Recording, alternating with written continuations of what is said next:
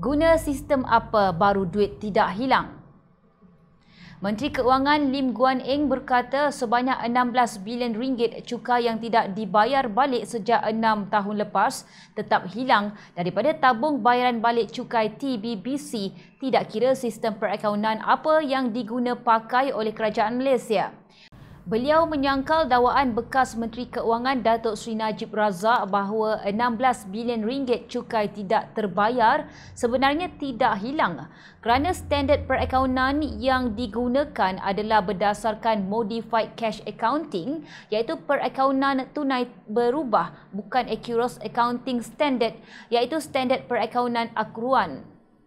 Kenyataan Najib seakan-akan menyalahkan sistem perakaunan yang digunakan untuk cuba memberikan gambaran bahawa 16 bilion ringgit cukai tidak terbayar sebenarnya tidak hilang adalah tidak berasas dan tidak benar sama sekali kata Guan Eng dalam satu kenyataan.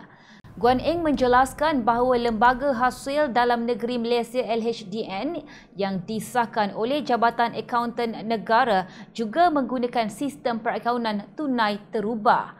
JHDN mendapati baki kredit yang belum dibayar balik kepada pembayar cukai terdiri daripada 1.65 juta individu dan syarikat adalah berjumlah 16.046 bilion ringgit setakat 31 Mei 2018.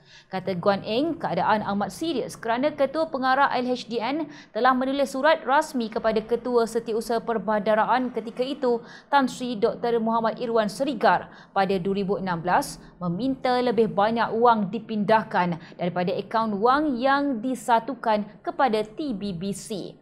Bagaimanapun, Guan Eng mendakwa Muhammad Irwan tidak memperdulikannya dan tidak memindahkan peruntukan yang mencukupi kepada TBBC seperti yang dipohon oleh LHDN.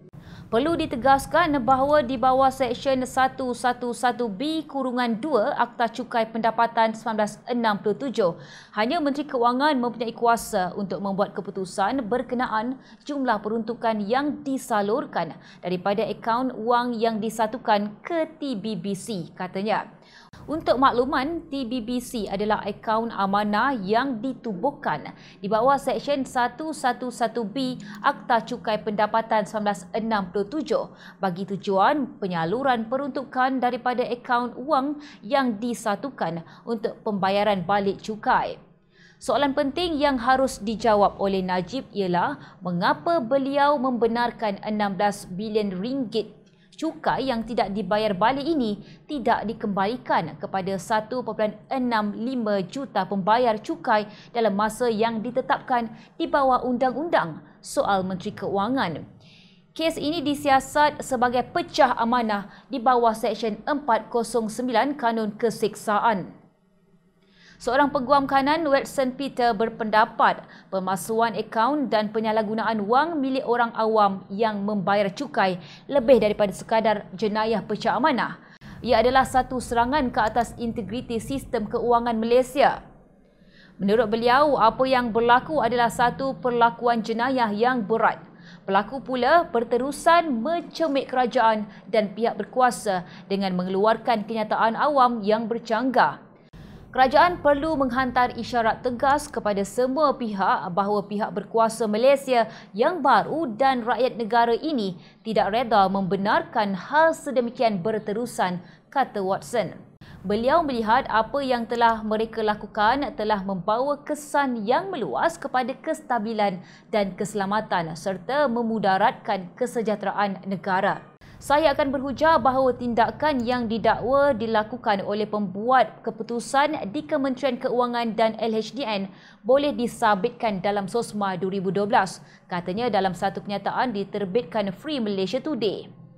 Menurut peguam itu, perbuatan mereka mengganggu kehidupan rakyat Malaysia akibat kesukaran dari segi ekonomi.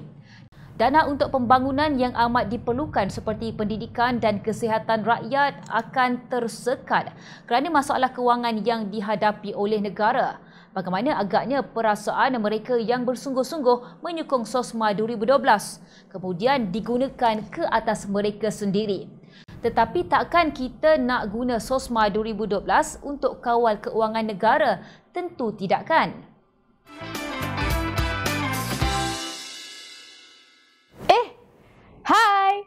Jangan lupa klik kanan untuk rentasan berita, klik kiri untuk keratan berita dan jangan lupa untuk subscribe kami tahu.